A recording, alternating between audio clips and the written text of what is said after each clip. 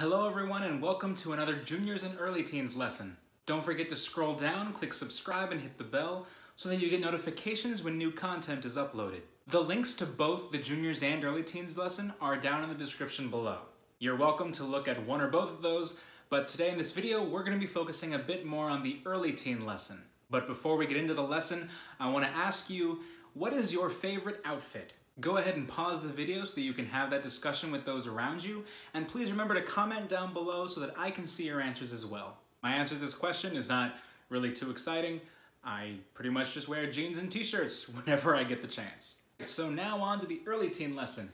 And when I said earlier that we would be focusing on the early teen lesson, what I meant by that was I looked at both lessons, the junior and the early teen, and when I looked at the early teen lesson, I read the title. And that was it. I mean, I read more of what was in the lesson, but that was it. I decided to focus on the early teen lesson because that meant I got to film a video with this. Yeah, that's right. Pastor Ryan owns a gladius, which is the short sword that the Roman soldiers would use. So when you're reading through the New Testament and you come across stories that have Roman soldiers in them, all of them probably most definitely had a gladius like this one. I get to pull this out for this lesson because one, I own it and can do what I want, and two, because the early teen lesson talks about the armor of God. Paul talks about the armor of God in Ephesians chapter 6. So I'm going to put away this sword and pull out my sword of the Spirit. You should pull yours out too and turn to Ephesians chapter 6. The whole section is verses 10 through 20, but in this video, I'm gonna read for you verses 13 through 17. Go ahead and pause the video so that you can look up Ephesians chapter 6. I'm going to encourage you to read the whole section, verses 10 through 20, as I, for time, am just going to read verses 13 through 17. Ephesians chapter 6, verses 13 through 17 reads, Therefore, take up the whole armor of God, that you may be able to withstand in the evil day, and having done all to stand firm. Stand therefore, having fastened on the belt of truth, and having put on the breastplate of righteousness, and as shoes for your feet, having put on the readiness given by the gospel of peace. In all circumstances, take up the shield of faith, with which you can extinguish all the flaming darts of the evil one, and take the helmet of salvation and the sword of the Spirit, which is the Word of God. Now, I don't know about you, but growing up learning about the armor of God, it was always pictured to me like this. Like a medieval knight, a full suit of armor where you can't even see the person who is wearing it. Now, to be fair, I don't think it's wrong to think of the armor of God in that way because Paul was simply making an illustration about God. It's not a hard and fast thing what the armor of God actually looks like. But when you take a step back and actually think about it, Paul was probably talking more about what a Roman soldier would look like. I'm sure you've seen pictures and videos of Romans, centurions, and soldiers, and they're not actually fully covered. Once again, not that it makes a difference in light of an illustration, but the Roman soldier is what the Ephesians would have been thinking of when they were reading this letter that Paul sent them. Now, like I said, Paul is simply making an illustration for God prepping us for battle against Satan, his demons, and the temptations that they bring. Which means you could make this illustration with really any suit of armor, even Iron Man's or the Mandalorian's. And while it's okay to make illustrations like that, I think it is important to take a look at the Roman soldier to see if Paul had any specific reasons for choosing this imagery. For example, the first on his list is the belt of truth.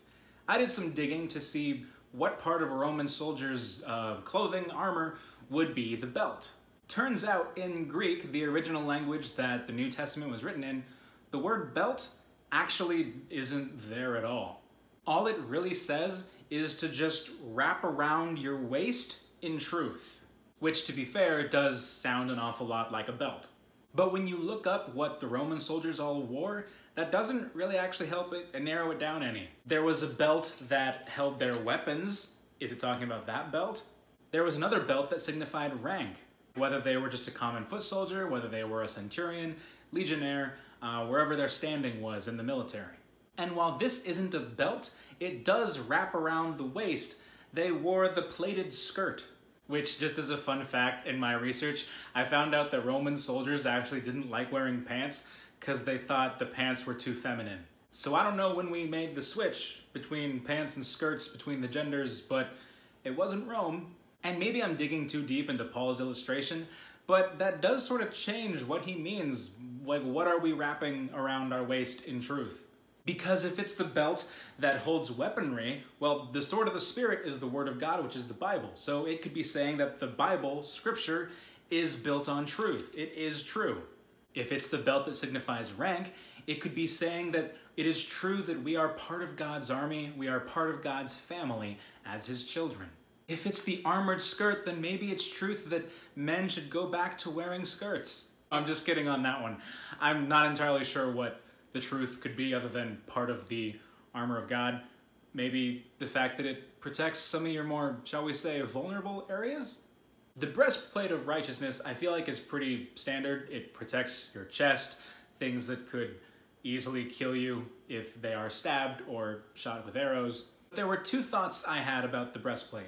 One, it could signify how uh, righteousness is a matter of asking God for a new heart, a heart that seeks and yearns to follow after Him.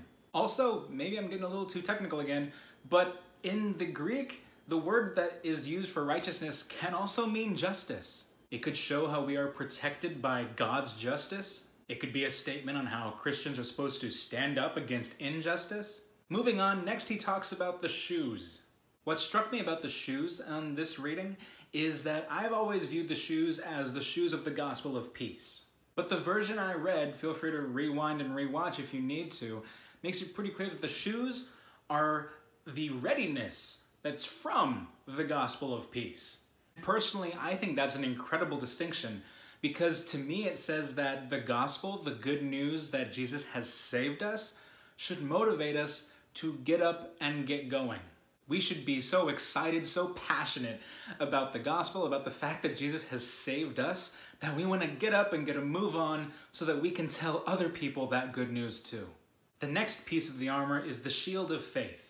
I like this illustration because it shows the imagery of having faith in God that He will protect us. What's interesting though is that the Roman soldiers varied between two different shields. The first one was smaller and was circular, kind of about the size and shape of Captain America's shield. While I couldn't verify for sure in my research, I'm pretty sure they're talking about the other one. Because the smaller round shield is better for more close-up, hand-to-hand or sword-to-sword combat. But the second shield is larger and is a big rectangle, which means two things. One, it's larger and will probably do a better job of protecting you against flaming arrows, as the Bible says. And second, the Romans had what they called a tortoise formation. I'm not kidding, I couldn't find a free image to use of this, so go ahead and go to Google Images and type in Roman soldier tortoise formation. In that formation, the people in front would hold their shield so that it was protecting them in front. But the people behind them would all hold their shields over their head. And they were large enough and they would interlock with each other to form a giant shell over the whole army. And due to the shields being interlocked, if a volley of flaming arrows was fired down upon them, there'd be no way that they could get through that barricade or that shell, tortoise formation, of shields. Which if that's the case and that's the shield that Paul was referring to, I think that says an awful lot about having a strong community of faith. So you and me, as we join our faith together, our faith in God together, I think we stand an even greater chance of withstanding the flaming arrows that the devil and his demons are firing our way. Next up is the helmet of salvation. I'm very glad that Paul used the helmet as the illustration for salvation for two reasons. First, the helmet is what stands between you and your enemy of a direct headshot, a direct kill.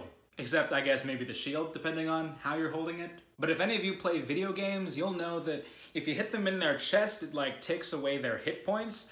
But if you're able to get a clean shot to their head, they drop.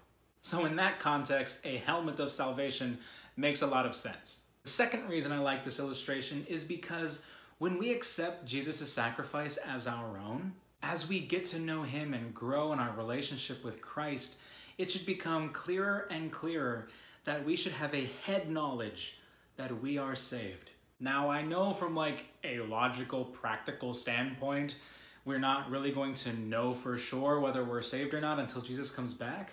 But I do think that when we have a relationship with Jesus here on earth, we should be able to know a head knowledge that we are saved in Him. Partly because of faith, but also because, well, let me put it this way. If your best friend is throwing a birthday party, are you going to be invited? Yeah. Yeah, you're going to be invited, unless it's like just a family thing. But if they're having a party with a bunch of their friends, you're pretty much guaranteed an invite. But when it gets close to his birthday and you notice that other friends have gotten invitations and you haven't, you're gonna start getting worried. And maybe you even start asking this friend, hey, is my invitation on its way? Is it in the mail? And he's just like, oh, yeah, it's probably on its way. Yeah, just, you know, we're, we're friends. We're friends, right? Your invitation's gonna be there. And you wait and wait, and that invitation never comes. And so you decide to just show up at the party anyways. And your friend is like, oh, hey, bro, where's your invitation? And you're like, but you said it was probably on its way. So I just sort of assumed that I was invited, maybe? And your best friend is like, nah, you're not invited. Sorry, you gotta go home.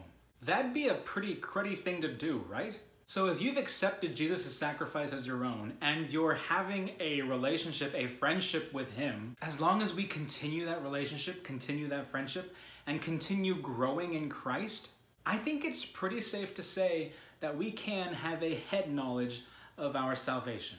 Of course, don't take it too far and get prideful about it, but if you have that friendship with Jesus, I think you can be pretty confident in that fact.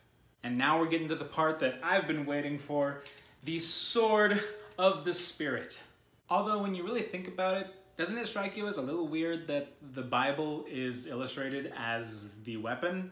Personally, I think it's a little weird, but it becomes more normal when you remember that our fight isn't against other humans, but our fight is against Satan and his forces. And in that fight, we need God's words. We need God's promises to be able to combat against Satan, his demons, and the temptations that they throw our way. And of course, to do this, you need all pieces, which means you need God. We do have enemies out there, and we need to fight them. Thankfully, God provides us with protection, with weapons, with tools, in order to make that possible. So Paul used a Roman soldier's armor and weaponry as an illustration for fighting against temptations. What illustrations can you think of? Let me know down in the comments. I'd love to see your creative answers. But ultimately, whatever illustration you use, we need God's help. So remember to stay close to Him. And one way you can do that is by practicing your sword fighting on a regular basis. Please bow your heads with me as we close with prayer. Dear Heavenly Father, I want to thank you so much uh, for your truth, for your gospel, the readiness that it brings, uh, for faith, for your righteousness, and for your salvation, and for your word. And thank you so much for the creativity to come up with illustrations to help people understand all these gifts that you give us. Please continue to guide us as we grow in you. And thank you again for your love and forgiveness. We love you, Jesus. Amen. Thank you so much for tuning in as we talk today about the armor of God. Don't forget to click subscribe and hit the bell so that you get notifications when new content is uploaded. Remember to give us a like and to share with someone that you think might benefit from this video. And of course, to all our viewers, remember that we're praying for you. God bless. See you later on this channel.